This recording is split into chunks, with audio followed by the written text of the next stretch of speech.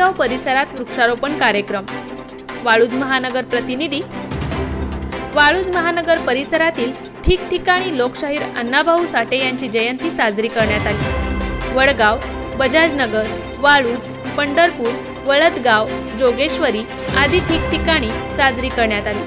येथील तिसगाव क्रीडा संकुल येथे शंभर वृक्षारोपण करण्यात आले. दिनांक एक ऑगस्ट दोन हजार एकवीस रोजी सकाळी दहा वाजता Masutatsu Oyama taekwondo sports academy Waluj संचलित तिसगाव क्रीडा संकुल व ध्यान साधना केंद्र यांच्या संयुक्त विद्यमाने व लोकशाहीर अण्णाभाऊ साठे यांच्या जयंती निमित्ताने महावृक्षारोपणाची लागवड करण्यात येणार आहे.